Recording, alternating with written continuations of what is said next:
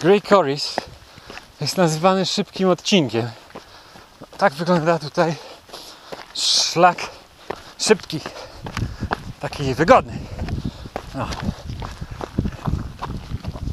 Się biega, się ogląda, widoki przepiękne, czas powoli sobie płynie, poranek się grzeje, no i na śniadanie na jezioro trzeba ruszyć.